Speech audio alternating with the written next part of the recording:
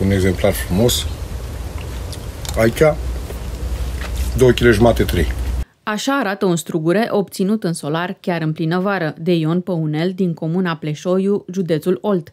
Fermierul își vinde strugurii la Sibiu și spune că multor clienți nu le vină să cradă că sunt cultivați în România. Gustul fructului proaspăt și natural îi convinge imediat. În primul rând avem, uh, avem timpurietate, avem lipsa bolilor și a dăunătorilor, uh, avem uh, mai puține, având lipsă de asta, avem mai puține tratamente fitosanitare. Asta înseamnă un produs mai, mai curat, îți permite să mergi pe sistemul pergola de dirijare, asta înseamnă uh, o producție mult mai mare decât într-o plantație clasică. Aspectul acest lucru este la fel ca cei din afară, numai că de aici încolo încep diferențe.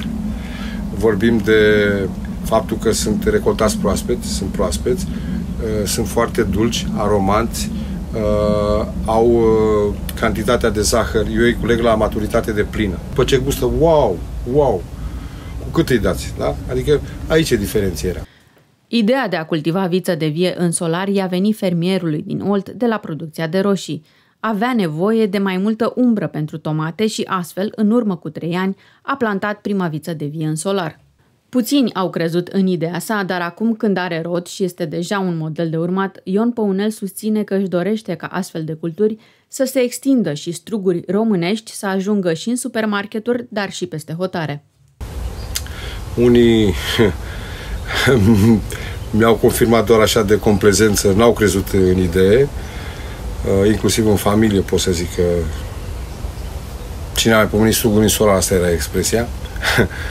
Uh, dar unul din colegi a mizat uh, pe, pe această cultură și chiar a reușit să scoată puțin mai devreme decât mine în une solarii pentru că are și încălzire. Anul acesta, un alt coleg din Glodeanu Sărat uh, a luat pentru suprafața de aproape un hectar, deci încă două, trei. Ușor, ușor ne extinde și mi-aș dori să fim cât mai mulți, pentru că, în primul rând, România e deficitară la sectorul de fructe.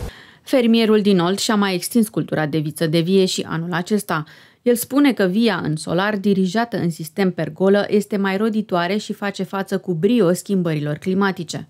Potrivit fermierului din Olt, o vie cultivată în mod clasic în aer liber produce maximum 16 tone de struguri la hectar, dar în sistem pergolă se poate ajunge la o producție de 40-60 de tone la hectar și în spațiu protejat chiar la 120 de tone la hectar.